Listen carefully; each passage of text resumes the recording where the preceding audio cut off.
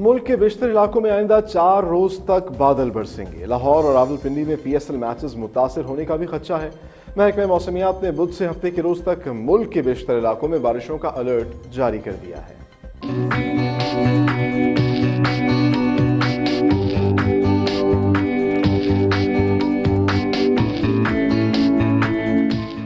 محکمہ موسمیات کے مطابق مغربی ہواؤں کا طاقتور سلسلہ کل پاکستان میں داخل ہوگا اور ملک کے بالائی اور وسطی علاقے آئندہ چار روز تک بارش برسانے والے بادلوں کی زد میں رہیں گے، جبکہ کہیں کہیں یالہ باری کا بھی امکان ہے۔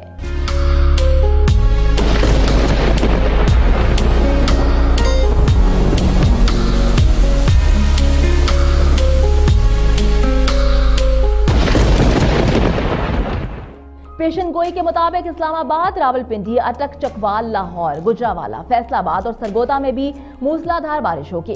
گجرات حافظ آباد اور ناروال کے اضلاع میں بھی بارش کی پیشن گوئی کی گئی ہے، جبکہ میاں والی خوشاب، بھکر، جھنگ اور ٹوبا ٹیک سنگھ میں بھی ابرے کرم برسے گا۔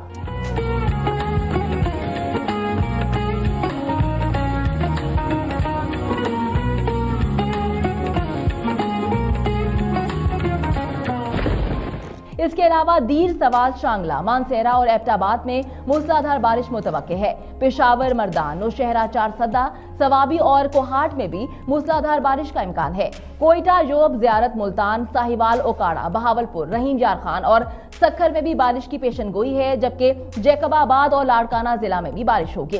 کراچی سمیت زیر سندھ میں گرد آلود ہوائیں چلیں گی، جبکہ پہاڑی علاقوں میں لینڈ سلائڈنگ کا امکان ہے۔ اس کے ساتھ ساتھ بارشوں کے کے پی کے، کشمیر اور گلگت بلتستان کے نشیبی علاقوں میں پانی جمع ہونے اور جمعرات جمعے ہفتے کو لاہور اور راول پنڈی میں پی ایس ایل میچز متاثر ہونے کا بھی خدشہ ہے۔